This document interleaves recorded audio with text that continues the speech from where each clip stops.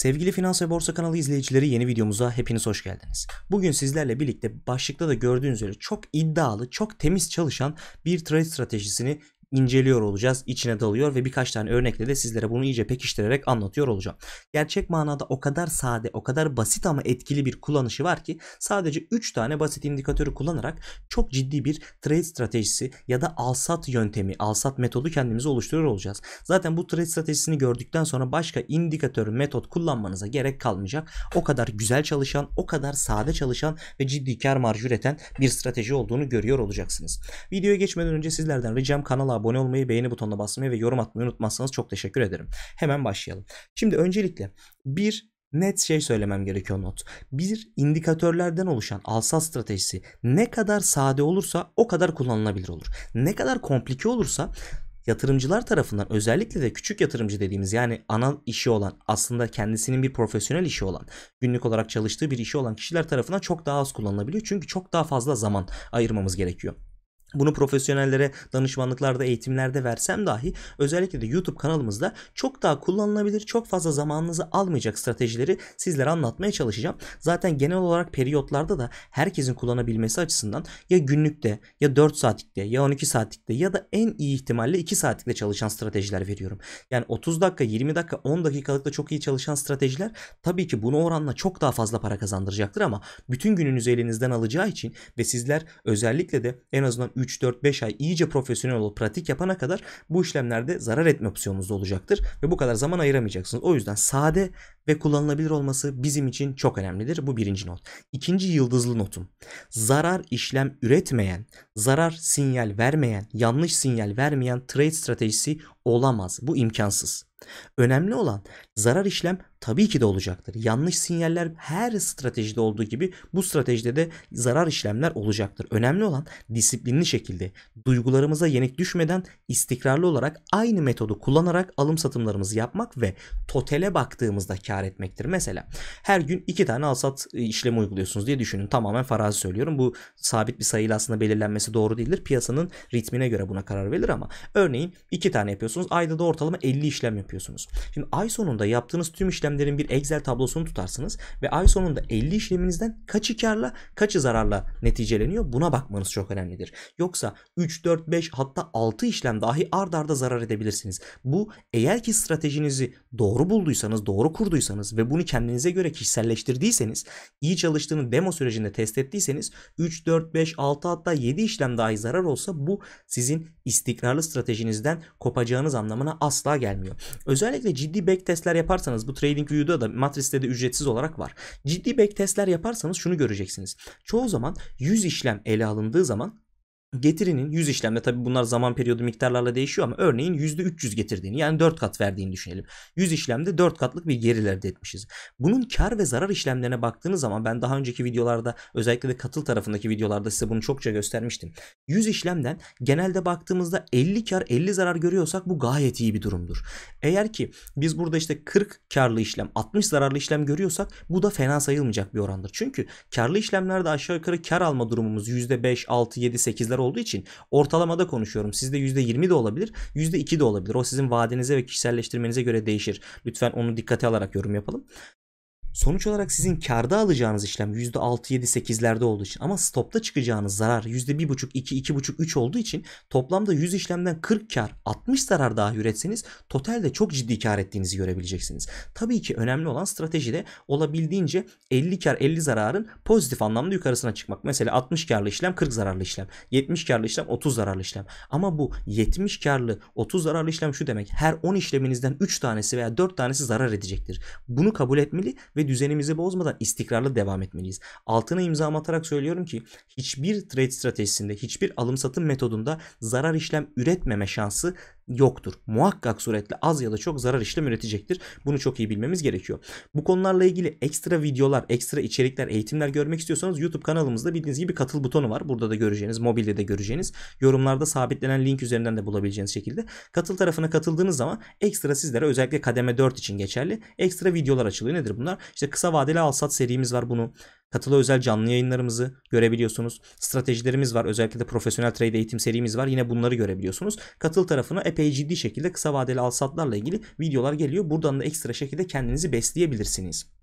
Ben dahi kısa vadeli alsat serisinde bazen katıla çektiğimiz videolarda dahi zarar işlemler oluşabiliyor. Ki bu aslında iyi bir trader için teknikte gördüğümüz, oluşturduğumuz strateji çok önemlidir ama daha daha iyi bir trade metodu oluşturmak için bunun yanında kap takibi yapıyoruz. Zaman periyotları kullanımı, konjöktür analizi, sektörel analiz ve irdeleme, globale bakış gibi birçok farklı noktayı derinlik, kademe, takas, değerleme gibi birçok farklı noktaya bakmamıza rağmen yine de ister istemez zarar işlem oluyor ve olmak zorundadır. Yani bu iş kesinlikle zararı kabul ettiğimiz zaman yani kar zararla birlikte geliri kabul ettiğimiz zaman gerçekleşecektir. Özellikle son zamanlarda aldığım mailler üzerinden hocam senin ücretsiz teknik analiz eğitim serisini bitirdim. Kendime bir trade stratejisi oluşturdum. Ama bazen zarar işlem de üretiyor. Bunu nasıl engelleyebilirim gibi çok yorum geliyordu. Özellikle şundan çok memnunum. Ücretsiz olarak bir teknik analiz serimizin olması ve sizin onlardan faydalanıyor olmanız beni çok mutlu ediyor. Diğer tarafa geldiğimizde en iyi trader, en iyi trade stratejisini oluştursa dahi tekrar söylüyorum zarar işleminiz olacaktır. Bundan korkmayın. Bundan korkmayın ama demonuzu yaparak körü körüne gitmeyin. Hep egzenizi tutun. Şimdi gelelim videoya geçelim. Öndeki bu kısımdan bazen sıkıldığınızı biliyorum ama bunları bilmeden trade stratejisini alsanız da işte bir işe yaramıyor. O trade stratejisini alıp 3 kere uyguluyorsunuz. 3'te 2 zarar işlem oluştuğu zaman tamamen çıkıyorsunuz. Aslında bu işte başta anlattığım nedenlerden dolayı yanlış bir şeydir. Hemen gelelim stratejimize. Öncelikle 9 günlük bir Fisher atıyoruz. Fisher zaten hepimizin bildiği çok basit al-sat sinyali üreten bir indikatör dizisi. Şimdi burada Fisher bize aslında bir teyit oluşturmuş olacak. Tam manasıyla ana odak noktamız Fisher değil. İkinci indikatörümüz alma hareketli ortalaması. Şimdi alma hareketli ortalaması hesaplanış bakımından diğer hareketli ortalamalara göre çok daha agresif çalışıyor. Karda da zararda da çok daha hızlı. Zaten gördüğünüz gibi grafiğe neredeyse tam oturmuş bir hareketli ortalama olduğunu görüyoruz.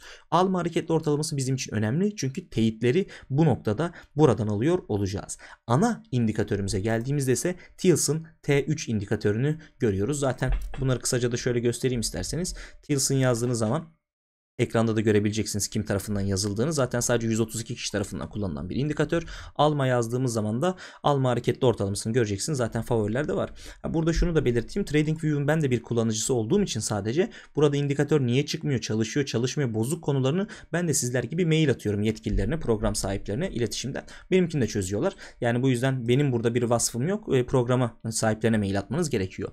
Şimdi 3 indikatörümüzü de koyduk. Hemen gelelim 3 tane büyük şirkette örnek yapacağız. Birinci şirketimiz Ereğli.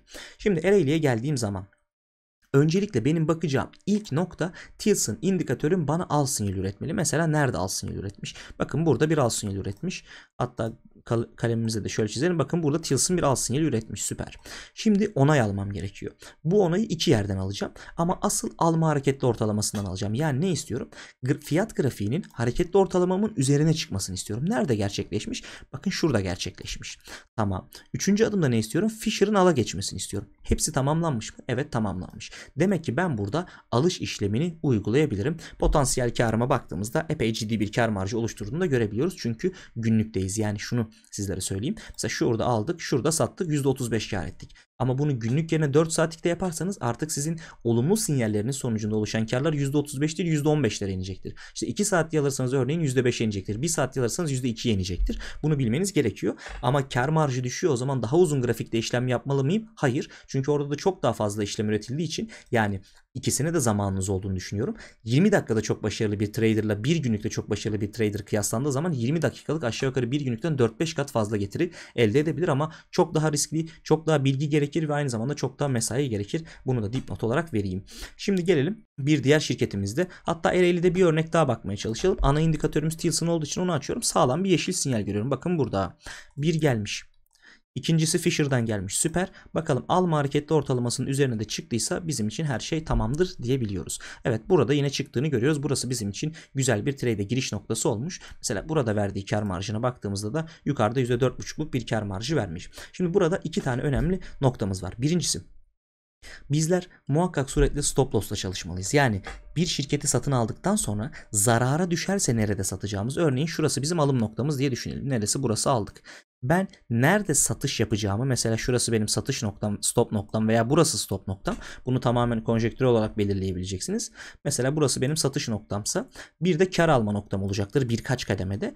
Ben bunu mesela yukarı yönde bir hareketlenme oldu ve buraya geldi. İlk kar satış noktamda sattım. O zaman artık bu aşağıdaki stop noktasını da bir üst seviyeye çıkartacağım ki ani bir düşüşte stop olduğumda örneğin yarısını ilk kademede satmıştım. Yarısını da girdiğim seviyeye stopu çıkarttığım için sattım. Yani burada sattığım yarısı bana karı üretmiş olsun. Bu stop loss'larla çalışmayı da yine katıl tarafındaki hem profesyonel trade eğitim serisi hem de kısa vadeli alsat serisinde oldukça ciddi bir e, süreyle anlatmaya çalıştım. Çünkü stop noktası bizim için çok önemli. Kar alış noktası bizim için çok önemli. Şimdi sorulardan bir tanesi şu olacaktır. Ne zaman satmalıyız bu indikatör stratejisi içerisinde? Şimdi ben her zaman şunu söylerim. Alım için kurduğunuz en iyi strateji satım için kurulan en iyi strateji olmayacaktır. O yüzden ben her zaman al için farklı bir strateji kullanırken sat için farklı bir strateji kullanıyorum. Bu videonun konusu alım için olduğu için burada satış tarafına çok girmeyeceğim. Ama ben bunun için de kullanmak istiyorum derseniz aynı e, şeyin tam tersini kullanabilirsiniz. Yani Tilson e, kırmızı bir sinyal üretecek. Sat sinyali üretecek ve Fisher'ın da sata geçtiğini gördüğümde hareketli ortalamadan onay almasam dahi satış işlemi yapabilirim ama bir de bunun yanında hareketli ortalamamda e, aynı şekilde satış sinyalini alabilirim. Mesela o da nereyi gösteriyor? Bana şuraları sat olarak gösteriyor. Yani beni burada sattırdı diyelim burada aldırdı. Şu aradaki makas benim karım olarak işleme girmiş oldu. Burada aşağı yukarı komisyonlar vesaire hesaplandığında tapi çıktığımızı görebileceğiz. Gelelim bir başka örneğe mesela nereye gidelim? Sabancı Holding'e bakalım. Büyük şirketlere bakalım. Bir de özellikle canlı canlı video çekilirken bir zarar işlem örneği bulmaya çalışacağım sizlere. Böyle bizi zarara düşürebilecek bir işlem. Mesela kar için baktığımızda çok güzel seviyeler görüyoruz. Yani burada hem Tilson hem hareketli ortalama ala geçmiş. Fisher bize al vermiş ve yukarıda muazzam bir işlem var. Bunun belki kar getirisine baktığımız zaman aşağı yukarı %13'leri görüyoruz. Her ne olursa olsun yine stop loss'umuzu koyuyoruz kar alım noktalarımızı birkaç kademede koyuyoruz ve stopumuzu yukarı doğru taşıyarak kademe kademe ilerletiyor olacağız. Şöyle zararlı bir işlem bulmaya çalışacağım. Aslında çok güzel çalışan gerçekten iyi çalışan bir strateji olduğu için zarar işlem çok az üretiyor. Ama muhakkak suretle zarar işlem de üretecektir. Onları yakalamaya çalışacağım. Yani epeyce araştırsam da videonun içerisinde bir, birkaç dakika araştırdım ama çok zarar işlem bulamadık.